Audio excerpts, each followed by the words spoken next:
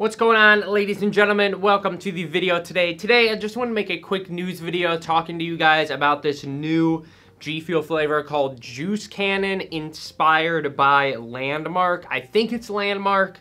Um, I'm pretty sure that's uh, how you say his name, even though it is LVND Mark. Let me know down below, but I'm just going to say Landmark for right now because I've heard other people call him by that, so I think that's how you say it.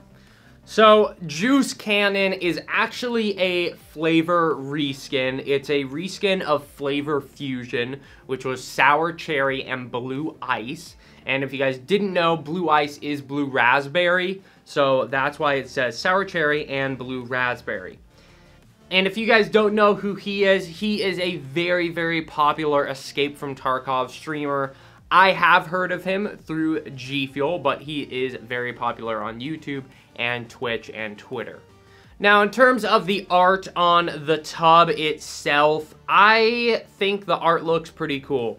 I definitely prefer this over what um, the Flavor Fusion tub looked like because that was just a sour cherry tub and a blue ice tub mixed together. This is a unique tub art and I think all the colors go together and they match. So honestly, I am I am totally okay with how it looks.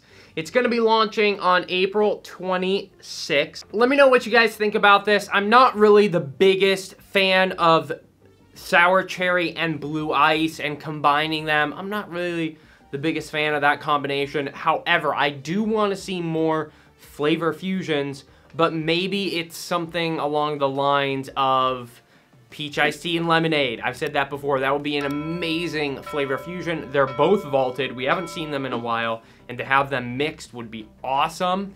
Or something like guava. We Guava's been gone for a long time. Guava lemonade, guava and typo. Some flavor fusions that have flavors in them that are not available.